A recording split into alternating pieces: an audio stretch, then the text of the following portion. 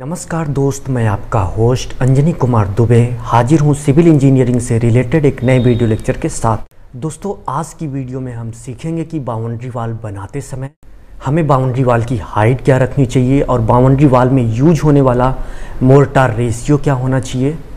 Boundary wall में use होने वाली ब्रिक किस क्लास की होनी चाहिए, फ़र्स्ट क्लास की होनी चाहिए, सेकेंड या फिर थर्ड।